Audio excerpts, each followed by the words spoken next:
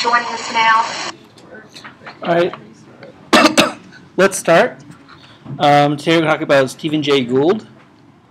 Okay, um, and so in the syllabus we highlight two scientists, Darwin and Gould. Gould is no Darwin. He's cool. Does, he did, did great things. Okay, but he's not Darwin. Okay, so I don't have some sort of false equivalence here. Okay. Um, but he did do some important things for macroevolution. Okay, that's why I want to highlight him today. Okay. Plus, you know, when I was taking this class, he was my instructor. I was so much luckier than you guys are. Um, right, so, you know, here's Darwin, here's Gould, and actually. Okay. Um, but again, you know, you know, you know, I'm a little pixel here, and most people you know are little pixels, so, keep, that in mind. so he's famous primarily as an author. So he wrote 26 books. He was a columnist for a magazine, Natural History magazine. Okay, um, but it wasn't like you know Ask Amy or some sort of column. I mean, it was about science and about evolution. Um, and he also wrote a book that was a synthesis of evolutionary thought as well. Um, and so he stands for basically three things. One is popularization. Okay, so check that. One is punc- punctuate equilibrium, which people affectionately call punk eek. And one is for arguments against pan selectionism. Okay.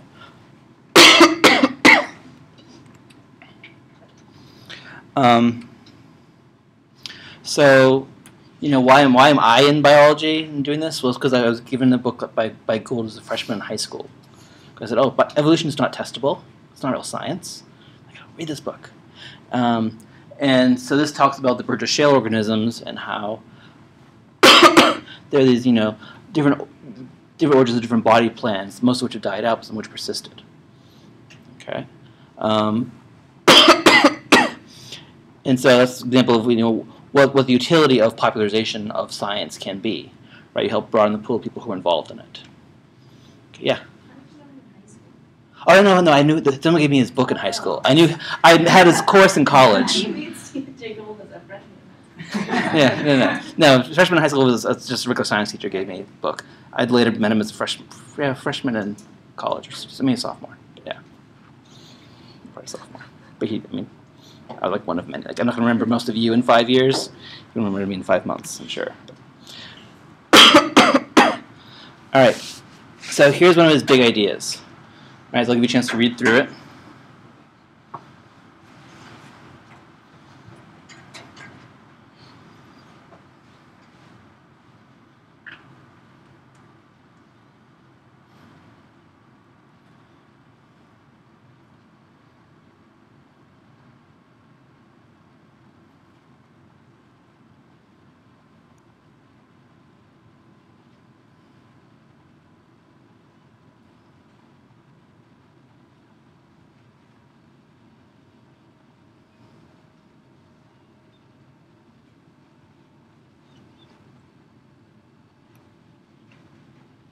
So what's he talking about here? Something we covered in class already.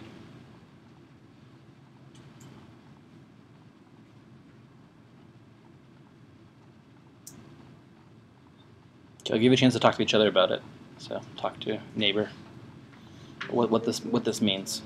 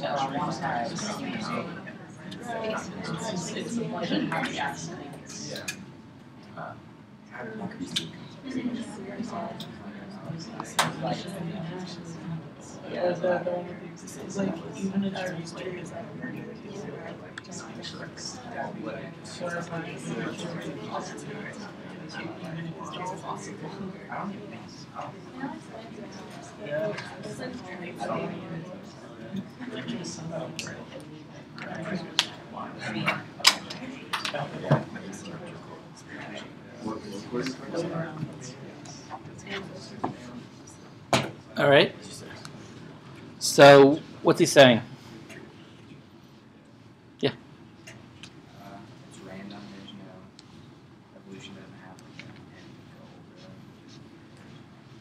Uh, Right. So it's not trying to you know achieve humans. Like, yay, we have an appendix. We can choke when we eat. Woo.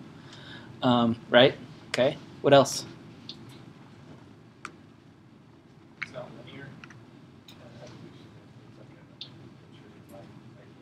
Mhm. Right. Yep, there's not this old like great chain of being idea. We talked about like primitive and derived taxon, how it's a bad way to think about biology. I mean, people are still thinking about that. He's saying no, it's not that. It's a tree. Okay. Yeah. Uh, the last sentence he's arguing that organisms aren't getting more complex or uh, evolving a little bit. That they've just had more time to specialize. And there's more time for natural selection to work. Mostly, but also he's talking a bit about it being a passive trend, right? So not necessarily right evolving only towards complexity, but you think about the complexity scale, and you start off here, and here is a minimum. Then through time, some can go this way, but some can go this way. Right? So, so that's what it says, you know, there's no trend in the usual tense, so it's not um, something like this where it's always going this way. We can go leftward or rightward, right? But because we have this boundary, it tends to get gets bigger, right? So, so an asymmetrical expansion of diversity around a starting point constrained to be simple, right? So you have a starting point, you have expansion, increase in variance, okay? You have this boundary, right? So it's like when we're talking about our, our passive trend, right? If I start off, I'm gonna fall over. If I start off over here, ha- have you all end up along this wall, right? And you jostle, right? Well, some of you are gonna be stuck on the wall. Some of you can go way over here, right? Um, it's just unlimited expansion area that this way. And so it's that, that same thing that. So it's just a way of describing a passive trend. Okay. um, so that's the main point of that. Okay. Um, okay, and Gould's also a big um, proponent of being clear about philosophy of science and what science is. Okay, um, so I'll give you a chance to read this when we talk about this.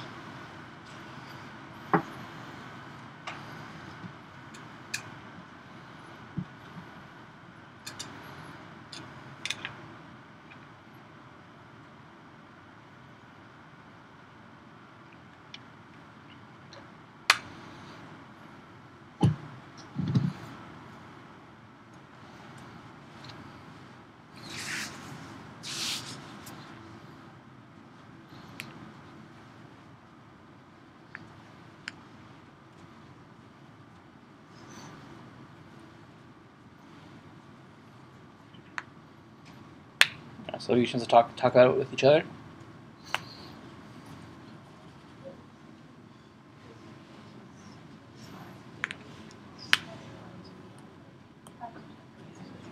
I better better been better prepared for class would have had like an apple suspended from like floss or something.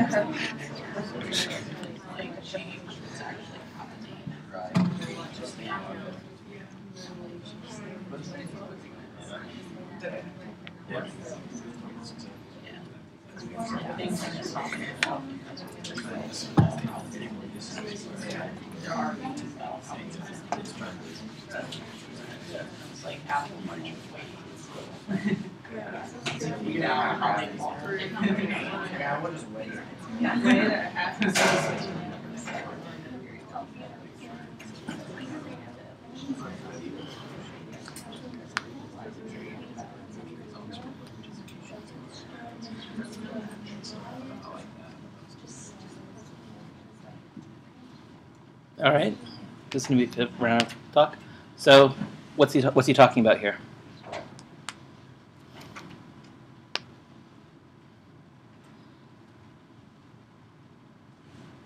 Basically, that the evidence is there. So when you say that evolution is a theory, it's you're just trying to explain what we see. The question is in the wrong place a lot of the time about the whole theory and fact. Mm-hmm. Mm-hmm.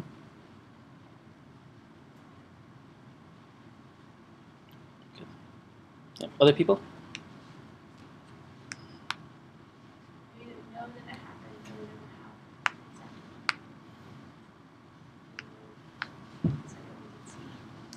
see.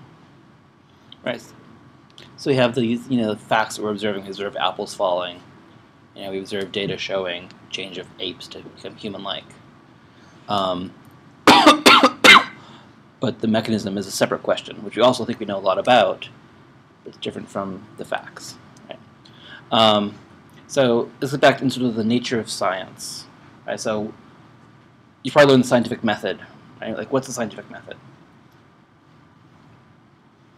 You're, you're teaching it to your fourth grade niece's, you know, elementary school class. Observe, right?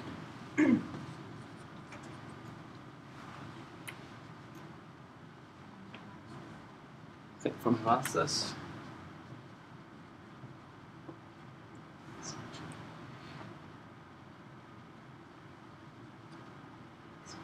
Experiment. Experiment. Where does NS- NSF funding go?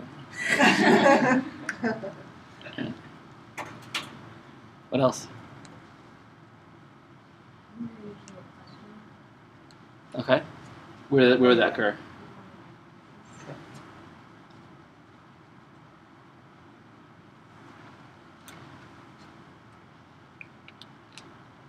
Alright, so do an experiment. Apple falls. Okay.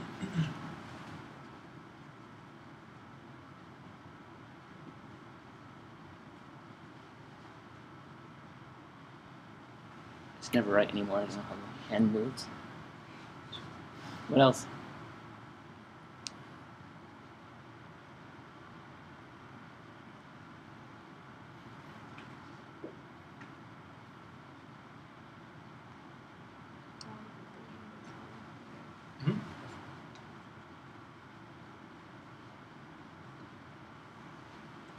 Where's theory?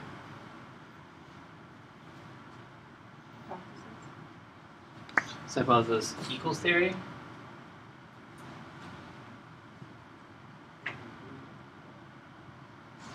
So it's what-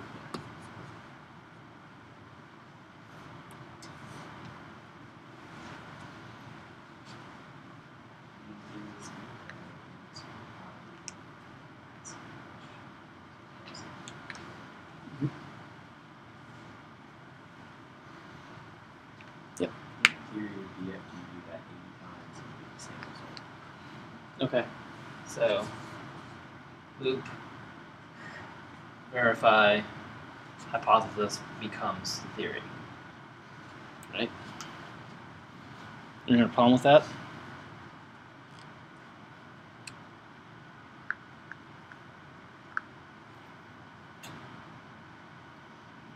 So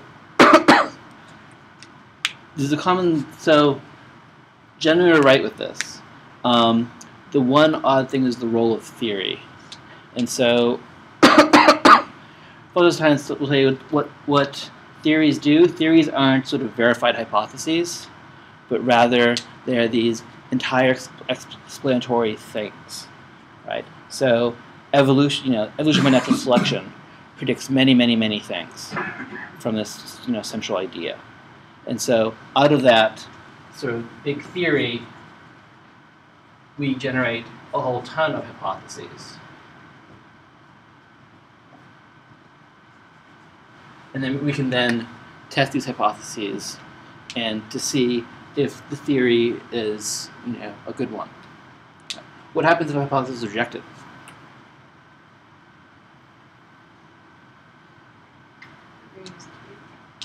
It's not thrown away?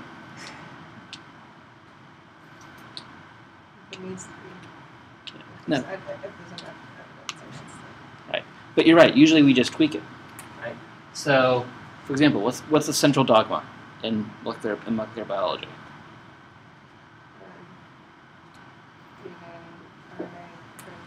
Mm-hmm. You've heard that heard that before? This, this is the theory about how evolution travels through a cell, right? Is that true?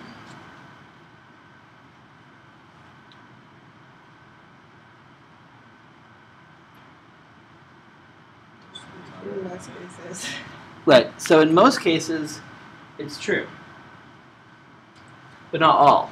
What's an exception? Retroviruses. What's what's, what's a retrovirus? Goes to discos.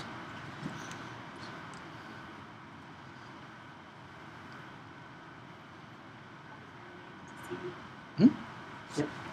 So retrovirus, and I'll draw T7, don't know any other viruses, but retrovirus.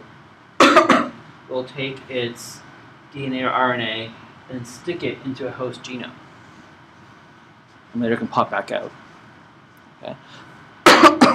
um, and so we have, you know, some movement backwards in information flow. Right? Um, so does that mean we throw away central dogma? In this case, it's a tweak. So we say, okay, in most cases, because of this flow, but there's another way of getting information back the other way. So you can go from RNA to DNA and then incorporate it, or then just go back to RNAs again. Okay? and so with, you know, evolution, so Darwin has the idea of natural selection, he didn't have genetics at all, puts genetics in.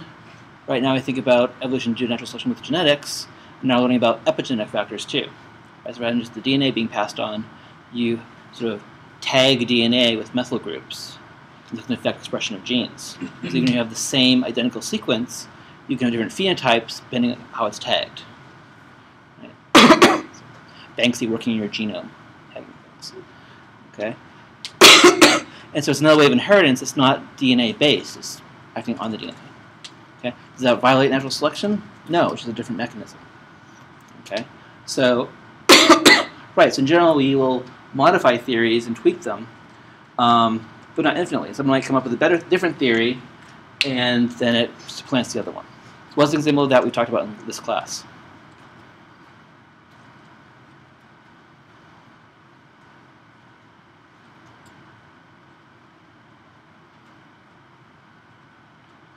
There's a catchy song associated with it.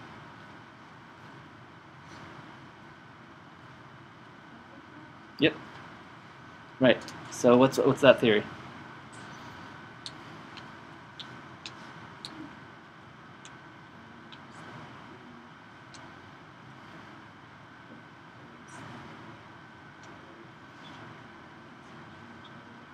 Mhm. Right. So the Earth has plates moving around, and animals and plants are riding these plates. And so, you know, I, I'm living in South America. I'm an armadillo. Wait, North America? Oh, cool. We can go to Texas. It's bristle that way. what theory did that, that displace?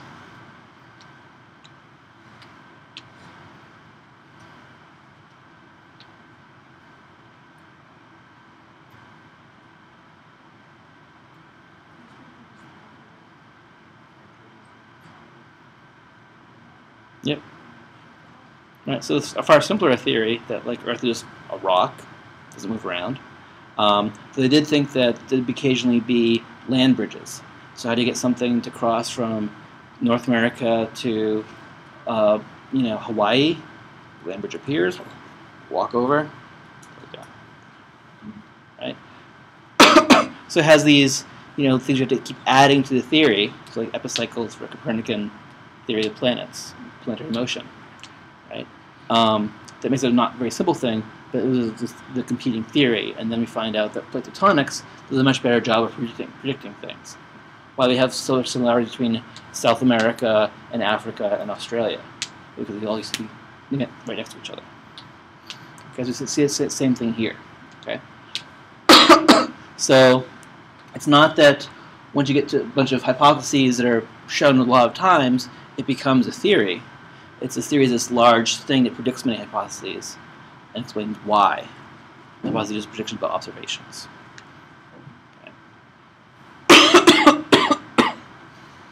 Um, and sometimes you can have a single experiment that will show, you know, a previous theory is wrong. Um, can you think of any examples of that?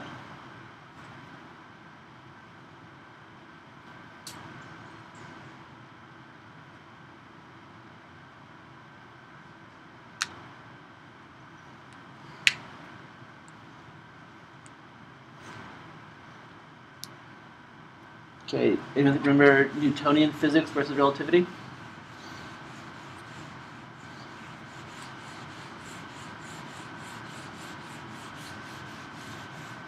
Okay. Um, so Einstein's theory predicts that if I have, you know, a light bulb, this is an incandescent light bulb, those who haven't seen one. Um, if I have a light bulb and it's sending light by some heavy thing, if anything has any mass, it'll be warped. Okay? Massive objects bend light. Okay? You're actually bending light too, but this pen's bending light just not very much. Okay? and so, whereas with Newtonian physics, light travels in straight lines. Okay? unless it passes through like a lens that bends it or something like that, but through through space it would go through a straight line. Okay, so there's a case where there was a, um, I think it was Venus going behind the sun. Okay, and to an observer on Earth, it's an eye, um, she or he would see it, you know, go behind here, and then later come back out the other side, right? Um, if so, that's if line if light travels in a straight line if Einstein is right, then you should actually see it earlier because the sun would bend the light towards the eye. Okay? and so here's a very clear case where you get very different predictions. Now, of course, it could be that you know it's small enough difference that it's fuzzy you can't tell it's not significant, right? So you have to worry about um, precision of estimates, but in this case, it was clear enough. You can see that, yep, it appeared sooner than you expect under Newtonian physics. So light's bending. So Newtonian physics is wrong, Einstein's theory is right. Because it's a nice clear case where a single example can show it. Okay? And biology is not that not so clear.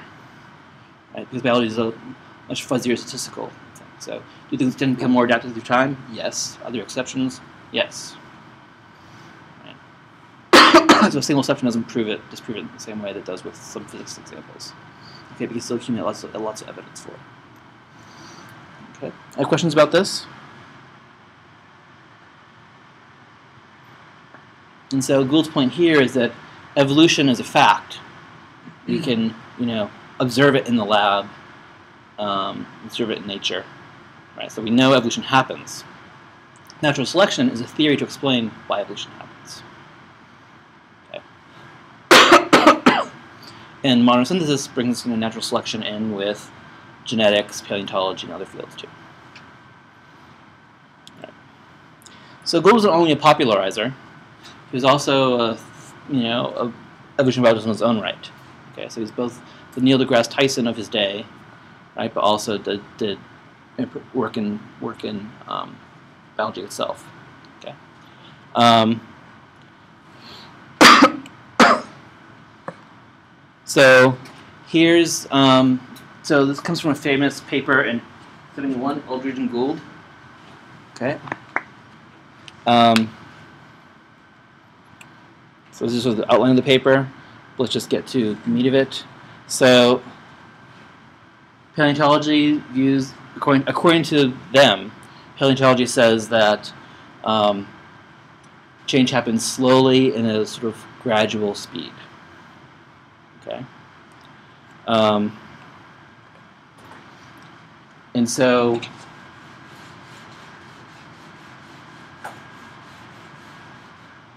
so sort of view that we have change, you know, through time, but we only see jumps because we observe a fossil here and a fossil here with nothing in between. Okay, so that's what, what how they characterize a standard view. Okay. um, so this, you know, all, all the breaks are just from lack of data. And what Gould and Eldredge think is that you have a population going through time, you have an allopatric event, one population stays as it was, the other one changes rapidly to new conditions, and change state. So rather than having this gradual change, you've gone from here to here, but it's through a jump like that. Okay? Um, and thus many breaks are real breaks.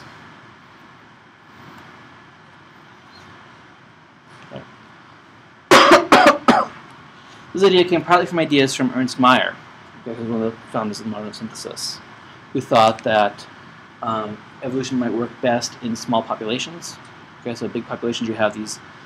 So he thought of this canalization, where the, you're resistant to mutation, to genetic change, and so you can have a genetic change but still have the same phenotype. It makes evolution hard, but if you had a small population, you could escape this. Okay, we don't think that's a big role anymore, but we do think that populations you can have things like drift happening more than large populations. Okay. Also, if we think that this happens from dispersal or some new habitat, you could have adaptation to a new habitat and could also lead to change.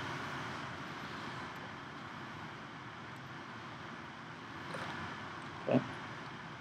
So here's how they, you know, again characterize the way people use the break. So split, slow shift. Okay. Um, or, you know, this sort of model we think is not right. And I think the true model is something like this. So you have resisting, and then mutation event.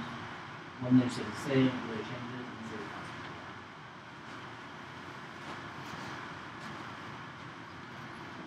Okay, any questions about this?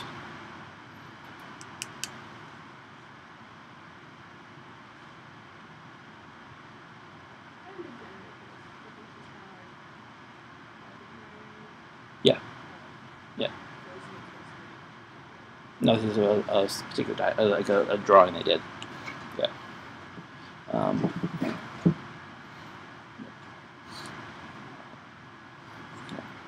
I I not, not even know that it might just be like ruler with pen. okay, so one thing you can actually do is test this, right? Um, and so under punk eek, we see changes happening on the appreciation events. Right, gradual change happens throughout the tree. And so what you can do is fit different models and see which models best explain the data. Talk more about how you can do this in, in a few, in a week or two. Okay, and so cladogenetic changes only at branching events, anagenetic changes throughout the tree. Okay, and you also have models that have mixture.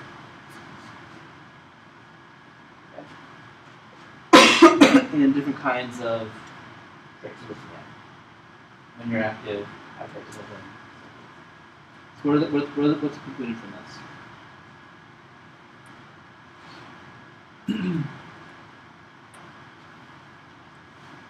So what does this plot show?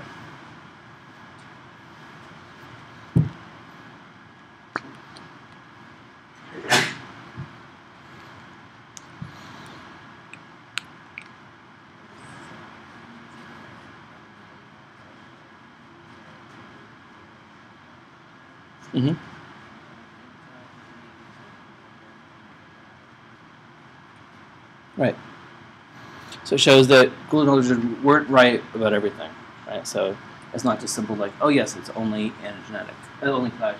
It's actually a mixture. So, so sometimes that's common, but means it's not at all. But sometimes it's mixed.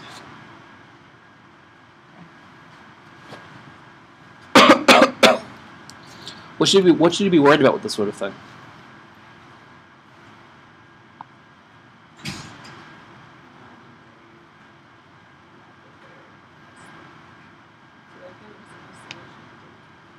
Mm-hmm. Well, they actually, so they came from these mod, like these, these are implementations of, this, of these models in software. Yeah.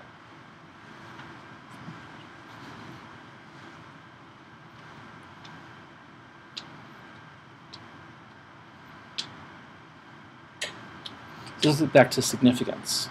All right, so trying to see which models are significantly better from the other, or in this case, it's sort of relative weight for each model. Okay, so how much they support each model.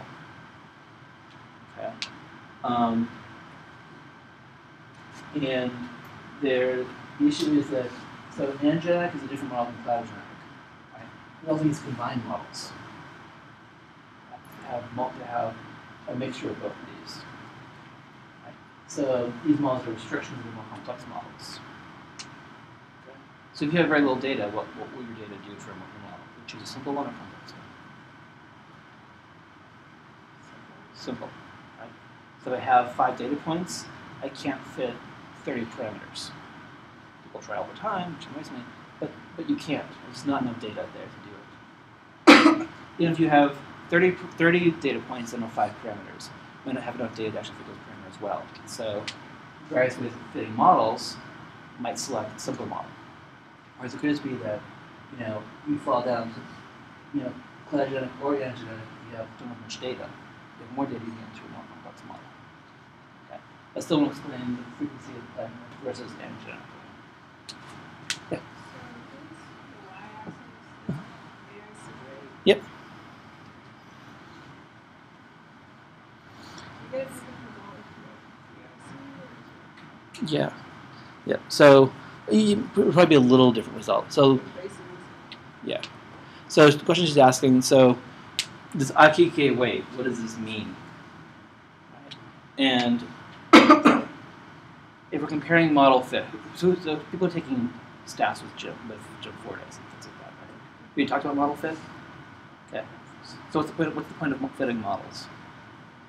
That's not, that's not.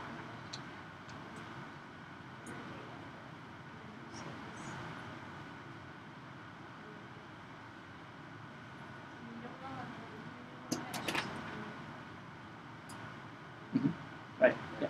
That's what you can look out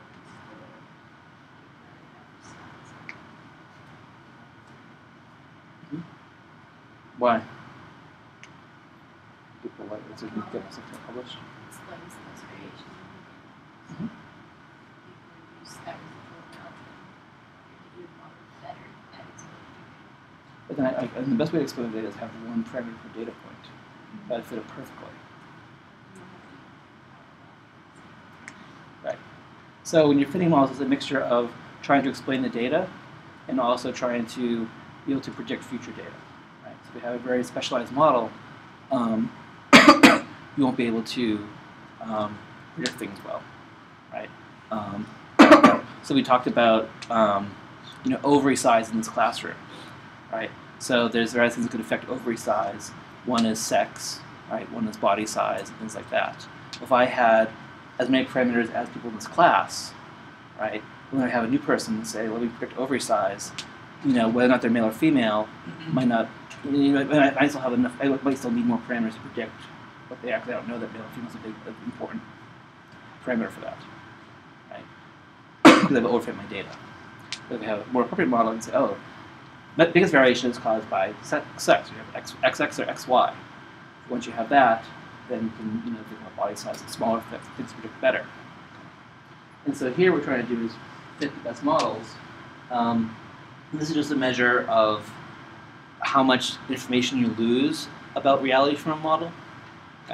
And it's very complex in terms of the theory behind it, the actual implementation is easy to use.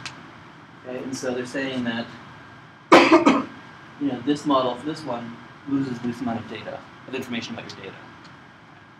Um, so that's a lot of weight. Of course, another thing you should worry about is um, the actual parameter estimates, right? So let's say I select this model has both? Those could be still be primarily genetic, tiny bit of cladogenic change, or it could be mostly cladogenic and a tiny bit of anagenic change. Right, so you should look at the parameter estimates too. And you can see, you know, for these models, the probability of changes at those branches. Right? So the model is pretty high. The model is correlate to whether it's anagenic or pyogenic. Okay. So here we see sort of model selection being used to tell us about theories of evolution. Is this happening gradually, or is it happening, or is it happening episodically? Okay. Questions? You look pensive, or bored to tears.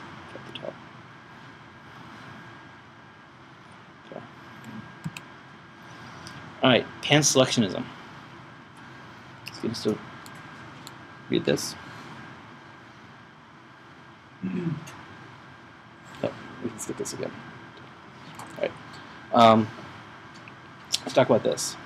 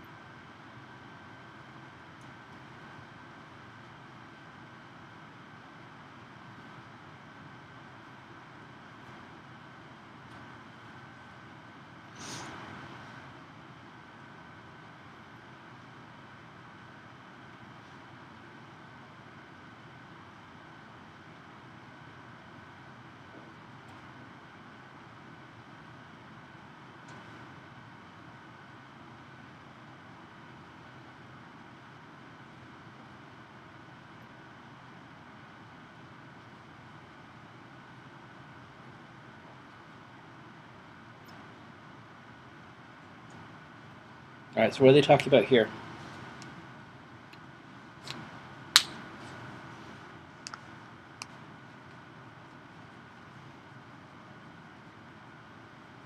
They say natural selection doesn't happen? No.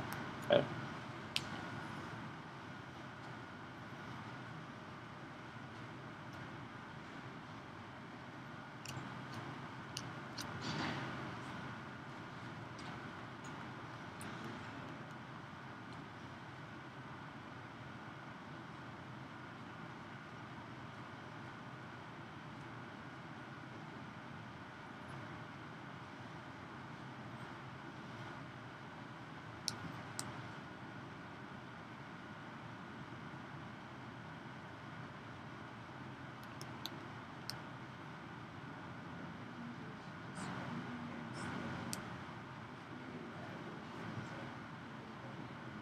So it's goal, it's really a goal, or say something by accident. Mhm. With no actual purpose. Not everything optimized.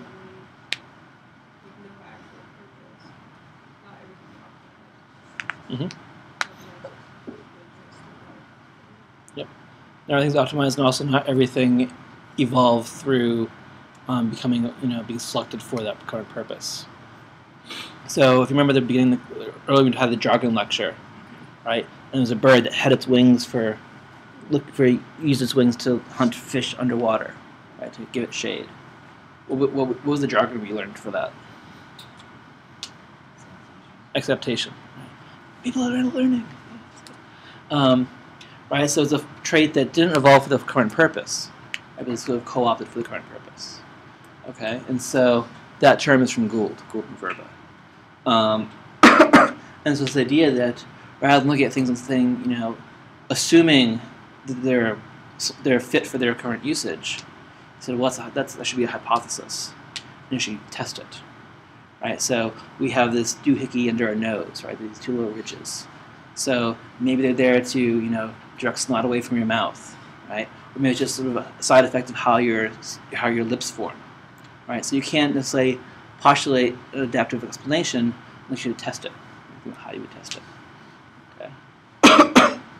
and so, you know, T-Rex's forelimbs, the same thing. Right? They might have some purpose, but they might have shrunk for no purpose. For you. Okay. Um, Gould had an example of the appendix, right? So, you know, many animals use their appendix to store bacteria and help with digestion, right? Humans, the appendix periodically kills you. It seems like a very bad trait to have.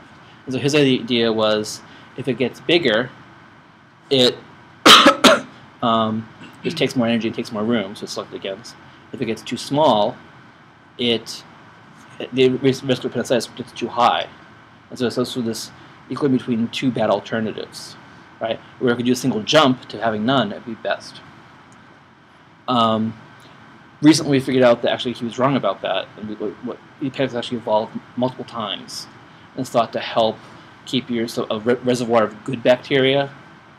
And so, if you have a infection that swipe, sweeps through and wipes out your good bacteria in most of your gut, that you can be reinfected by the, the by this re- reservoir of good ones later. So, something we thought was you know maladaptive actually might be adaptive. Okay, but that but really gives a sense of the sort of thinking. Good. Okay. um, so here's um, something that comes out of this book, right? So there's a common theme from Gould.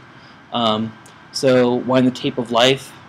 So I think like if you've ever seen a video cassette tape. Um, and so Pikaia was something was sister to chordates today. Okay, and so you know, and so he's the sloppily as the ancestor to chordates. It wasn't the ancestor, but that's basically getting here. He's saying, okay, if, if that individual were wiped out, then we'd have no chordates today. So it's a question about the predictability of evolution. Okay, so Gould's argument argued a lot that evolution was not that predictable.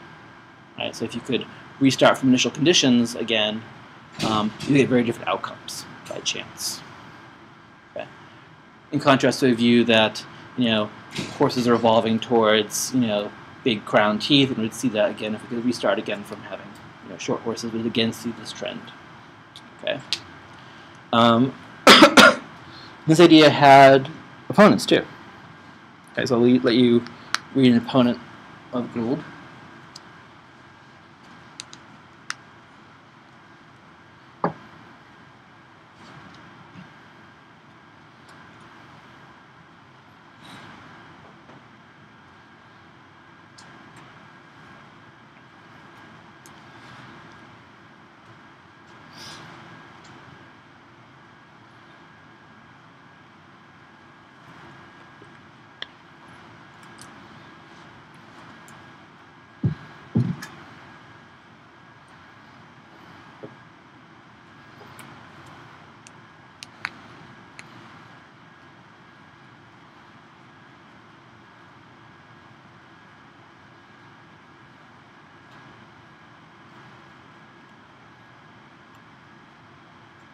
So that's opposing view, and here's Gould's response,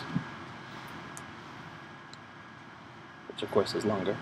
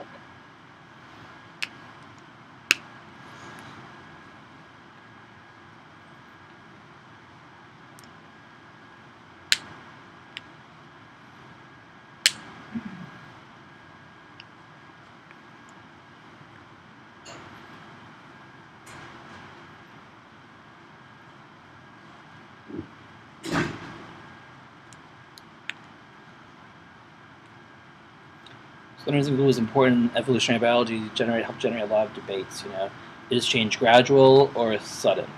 You know, is life repeatable or not? So, what do you think about this debate? Convergence, repeat versus you know versus not, not lack of repeatability. I think which one do you think is correct, and also how would you test this?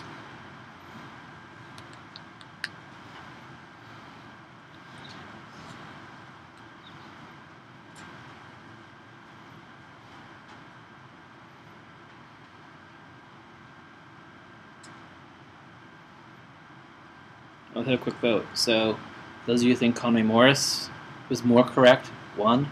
Think Gould is correct, two. You, you, you can you can say either one. It's okay. Raise your hands. You must vote. No. There's one life out there. I mean, so I mean, you can think about okay, so if convergence ex- explains more than half the pattern, then go with Conway Morris. If it explains less than half the pattern, we see go with Gould. Right, so there's no, you're not be right on the 50-50. All right, so vote. Which one?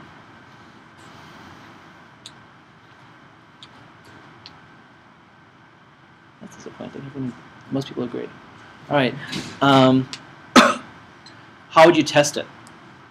How do you test? Most of you think that Gould is right. Okay, fine. How do you test that?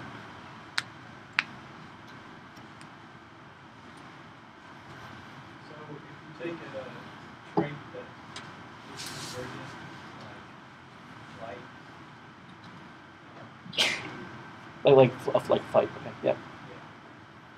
and you do um, biologics that you test for relatedness, you uh, account for that, Mhm. and then you can get kind of an estimate about. See where I'm going with this? Not quite. But I'm, but I'm hopeful. So as long as you're uh, fixing for, for related and uh, comparison, the trait will show you whether or not it's more likely to be based on relatedness or not. hmm Yeah. So, for example, like flight, right? So birds, pterosaurs, and bats all do something with their forelimbs. Yeah. And so maybe it's you know convergent with their forelimbs in the same place, whereas you know insects evolve in a completely different way. Okay, good. How else? I mean, it'd be kind of different so couldn't you arguably create a file since you don't have to actually all thousands of records. Have a file algorithm and then within the file algorithm, uh, have different survivors and reproductive rates attached to a specific trait Mm-hmm. that would converge. Mhm. Uh, say like and then we run this file from one common starting point or from a number of starting points to say, you know, where is the time? And see, is there some unified shift or some statistical shift towards different So had you had that idea 30 years ago, you'd be super famous now.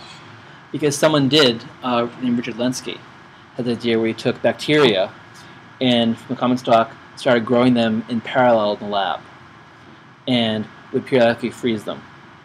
And so he has a, really a phylogeny where you can go back through time and see how things have changed, take an ancestor, thaw it out, compete it with the current one. Okay? And it can see evolution. And so he's used a, like a standard stock solution to grow the bacteria in that had citrate that bacteria can't, the E. coli, so I think it was E. coli, can, cannot use as a, as a food source. And someone actually evolved the ability to use it as a food source. And it happened different times in different, different lineages. So here's a case of convergent evolution that he wasn't expecting has happened. Um, they can use this new food source. And if you go back and see, um, did they evolve this ability the same way? Or was it different paths? And also we went back you know, several generations earlier to see you know other sort of pre- precursors to evolving this ability, and there were. So in that case, if you have enough changes, you can then convergently evolve this. But given enough time, it evolves separately. So exactly, that'd be a good way to do it. Good. So so so I mean, some more to note that he's, he those these crazy ideas about like you know evolution of life. We can't go back and wipe out Burgess Shale organisms. There's still ways to test these. Good. All right, I'll see you on Friday.